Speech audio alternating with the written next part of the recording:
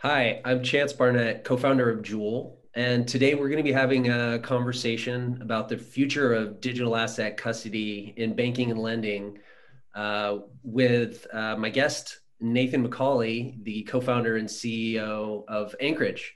Uh, Nathan's actually one of the best people in the world to be having this conversation with. Um, with his vantage point and his, his experience uh, co-founding Anchorage. Um, I'll let you uh, hear more from Nathan specifically about Anchorage, but I wanted to quickly set the stage for the conversation that we're going to have today. Um, first, we have uh, a digital asset market that is uh, experiencing tremendous growth. Uh, in digital currencies today, there's about 330 billion worth of digital currencies in market value. Um, and it's estimated over time uh, that uh, that's going to grow from 330 billion to an estimated 8 trillion in total digital assets that are going to be issued by 2027 um, and that's going to bring us from a world where we are today uh, where people are trading things like digital currencies such as bitcoin to a world where there's also other real world assets issued and stored in custody uh, such as equities real estate. Um, so tremendous growth. Custody underlies uh, a lot of that business and growth, and and so it's it, it's instrumental in the safety, security, and and operation of the industry. Um, right now, new laws are helping drive digital assets from its primary usage today, which has been around digital currency trading and exchanging, uh, and is going to help drive it into broader, more mainstream hands of both institutional and retail holders of digital currencies and that will even be enabled by banks more so in the future. So I'm really excited for you to uh, have this discussion with me with uh, Nathan. Um, uh, Nathan, thanks for joining us. Uh, Chance, it's great to be here. So uh, thanks for having me. Uh, like Chance said, I'm Nathan, co-founder and CEO of Anchorage. Anchorage is a digital asset custodian. Uh, we've been uh, in market for quite a few years now and uh, service uh, institutional investors and uh, institutional platforms uh, like Jewel and have been looking forward and really been looking forward to growth in crypto and have been here as part of the as part of the growth in crypto. So very exciting to be having this conversation. Lots of um, lots of themes going on this year that we're excited to share about. Fantastic. And uh, disclaimer here, uh, we really recently announced our partnership with Anchorage uh, for Jewel as a proposed bank in Bermuda that's in process of being licensed now to utilize Anchorage custody services. So I might be a little biased here, um, but for good reason, I think. Um, but I think that'll make for an even more interesting conversation. So my first question for you, Nathan, is uh, let's just talk more generally about the custody market and I'd love to hear just a tiny bit about your genesis story around Anchorage and where you see the custody market going. Yeah, it's a great question. So the the custody market is uh, really developing and maturing uh, within crypto assets. You've got a, a, a number of very good players within the the custody ecosystem, um, each with uh, particular strengths and uh, particular areas of areas of focus. Uh, for Anchorage, we are really focused on uh, the fact that we think that uh, custody of digital assets is going to be about more than just storing them. Uh, custody of digital assets is going to be about being allowed to use them. Uh, the, some of the most interesting things going on in uh, digital assets have to do with the fact that in many ways, digital assets are assets in a sense, but are also software. And what if your custodial layer allowed you to interact with it as if it's software uh, so that you can um, do things within those networks, uh, whether it's um, uh, decentralized uh, networks, uh, whether it's e equities on a blockchain where you may need to vote or process dividends, um, and then everything to having to do around trading and allowing fast movement of funds. All of these are big, big focus areas for Anchorage, all of which has um, been underlied by a, a deep, deep security model um, digital assets are in many ways bearer assets, and so the the security model is incredibly important. And so we've spent a lot of time and care uh, to get that right, uh, so that we have the the right foundation upon which to build uh, the the digital economy in many ways. amazing, and I, I want to pull this back a few things what you said, especially as this not just um, being assets, but software.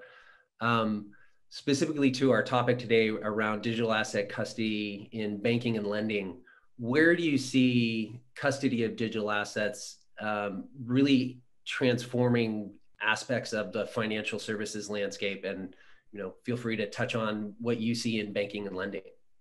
Sure. Yeah. So one of the one of the big things we're seeing is that um, as the as the current market dynamics around, say, interest rates uh, are going uh, a bit lower in many parts of the world, um, we're seeing a, an interest in getting uh, yield on top of uh, top of deposits.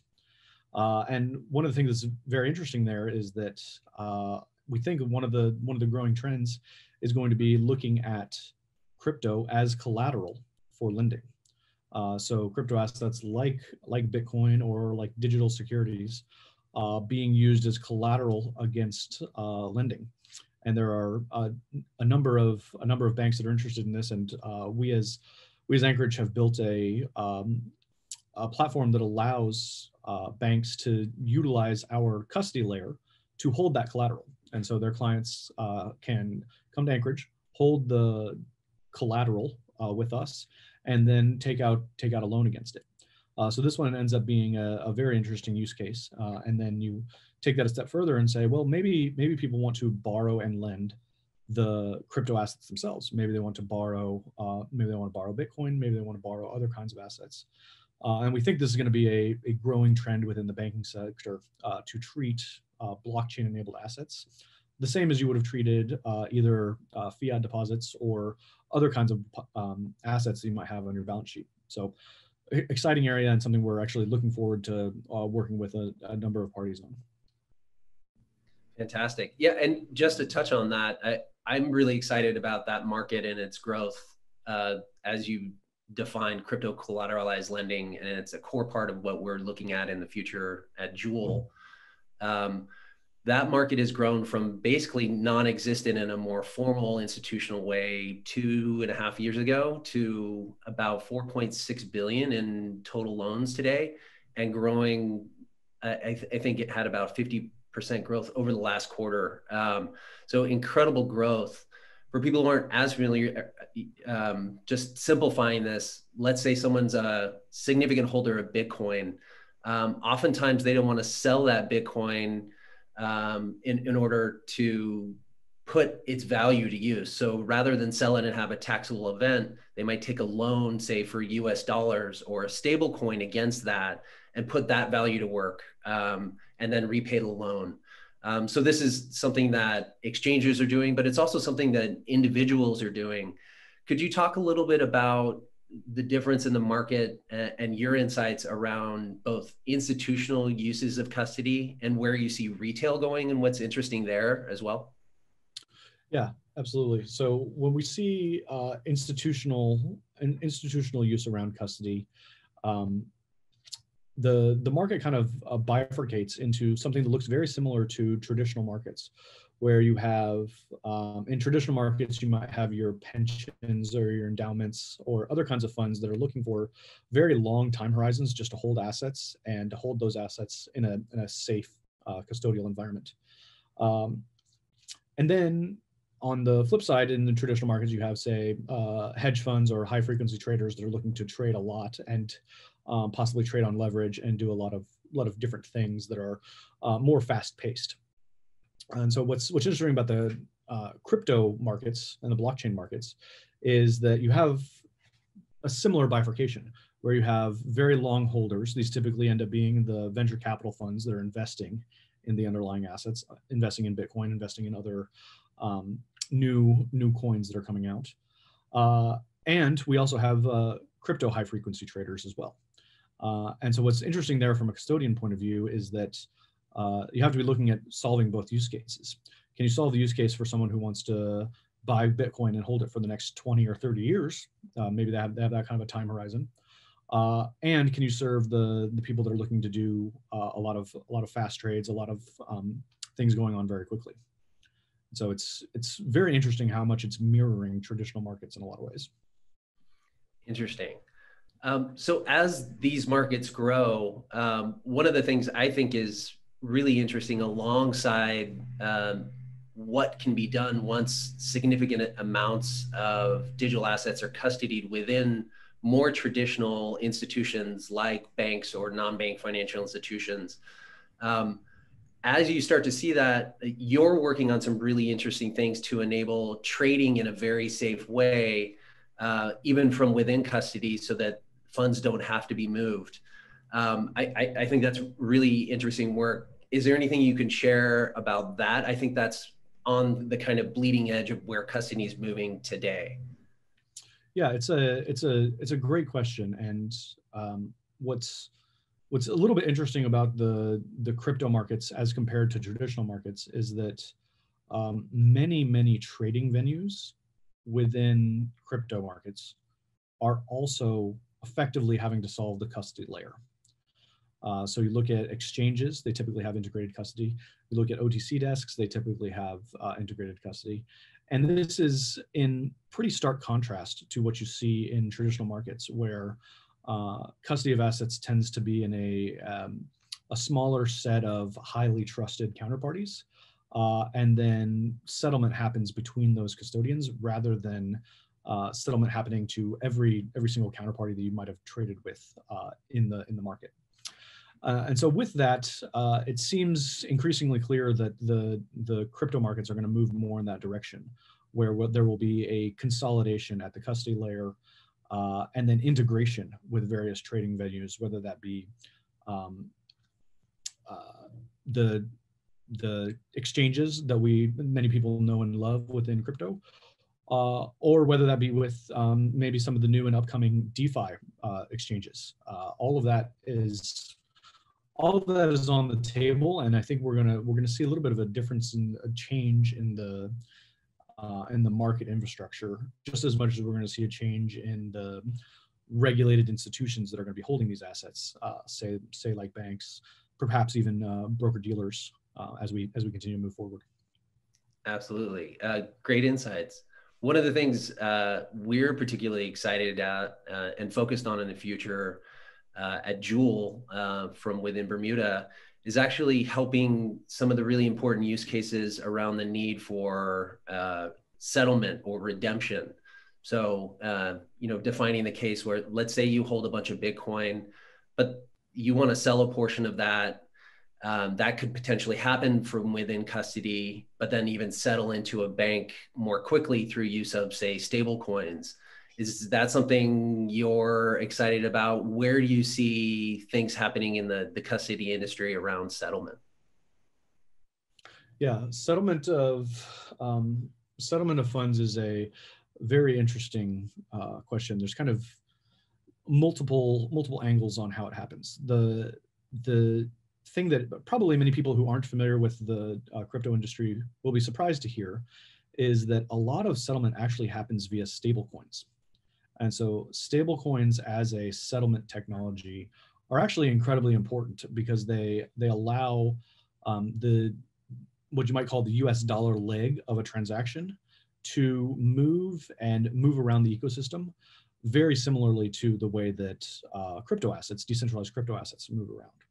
Uh, and so stable coins as a mechanism for settlement uh, are in, incredibly important and um, maybe a, a, little bit counterintuitive until you really get into the markets and see how much you would like to be able to move a uh, move a coin around in the same way as you're moving around the coin that's that's being traded. And so there's a there's a big opportunity around stablecoins. Um, we we support several of them. I think there's room for several more in the market, uh, and so we're we're looking at that as a trend that is is going to be I think really really important.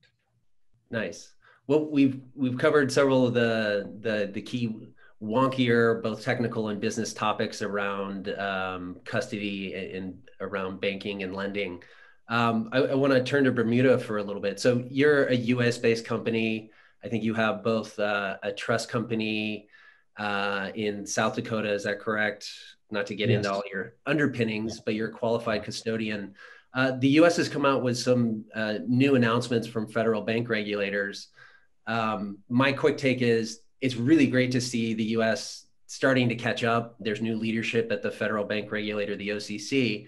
Meanwhile, Bermuda has a really great existing framework that was passed in 2018 and now being implemented through regulators. What's your perspective as largely a US based company, but with an eye towards international uh, around Bermuda? Yeah, I think the the the highest level thing to think about here is that um, what the what the crypto industry fundamentally needs is regulation. Uh, for this to really take off in the way that we all want it to, uh, we need to have regulated, solid institutions, ultimately that people can trust. So the the whole thing that's underlying all of um, all of the adoption of um, Bitcoin and other other crypto assets is trust and a, a big part of that is is regulatory approval regulatory understanding. And so when i when i look at places uh, like bermuda who are really leading leading the charge on helping uh, bring a, a, stable and regulated environment um, i'm incredibly grateful uh, because uh, there are there are places that are moving slower there's places that are moving faster um, and the the fact that uh, industry can partner with regulators in order to push things forward uh, is incredibly important for the uh, crypto industry at large, and it's uh, it's great to see it so much progress in Bermuda. Yeah, I, I, can speak to that from my own experience at Jewel in our process of uh, our, our, bank license application.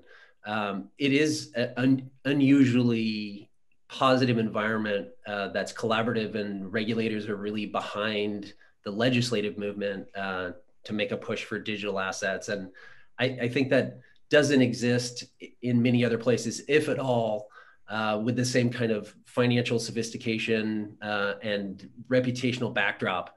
You know, there was other jurisdictions that I think made a big play to become this international hub for digital assets, namely Malta. Um, but I think it had its own set of challenges uh, that Bermuda's not really saddled with. So I think there's a lot of really exciting, interesting advantages uh, to Bermuda based on what you said and helping create a longer term environment of trust. And I've seen that plague this industry a bit. I mean, I think recent DeFi challenges, uh, the hack of KuCoin, these aren't necessarily regulatory problems, but they erode trust when we start to look at putting these in front of people who aren't speculating on them, but want to invest, say, 1% of their life savings in them, which is a very different um, approach.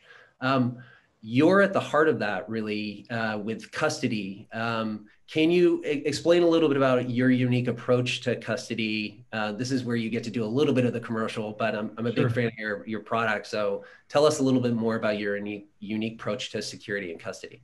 Yes. So our the, the biggest thing about our approach is you know, drafting on that notion of trust, uh, we want to be fo- we want to be really focused on being safe. We are a safe place to hold your assets, and a lot of being safe means that uh, the clients or the counterparties that work with us can't make mistakes, uh, and so our our system is built to be uh, redundant in terms of security checks, but also very very flexible and easy to use. Uh, and so we focus on um, in terms of key storage, keeping all of our all of our keys, all the crypto assets in uh, dedicated offline devices that are uh, incredibly secure and, and, stored very securely. Uh, but then mediating any access to those devices with a comprehensive set of biometric and behavioral authentication uh, approaches. And so anybody integrating with our system, anybody using our system, uh, needs to go through a, a comprehensive biometric check in order to be able to move any of their funds. And we think this provides a, a very, very flexible and easy to use system that at the same time uh, achieves security that is unmatched anywhere else within the within the ecosystem. Great, thanks for sharing. Um, well, if someone wants to learn more about Anchorage, um, where should they go? Sure, all the all the information about Anchorage is available at our website, anchorage.com, and we're we're uh, onboarding new clients every day. So if people are interested in, in bringing on their assets, uh, we would love to help them. Great. And uh, similarly here, we're excited uh, to get to the place where we can announce and launch formally uh, Jewel as a bank. We're in, in process now, uh, but we'll be leveraging Anchorage, Anchorage custody for our clients and So I, I, hope you enjoyed this conversation uh, today with Nathan and I. Uh, as you can tell, we're very uh, bullish about the future of digital assets and, and taking our own approach. Um, thanks for joining the conversation, Nathan. I appreciate it. Yeah, it was a, it was a pleasure. Thanks so much. All right. Thanks, everyone. Take care. Bye now.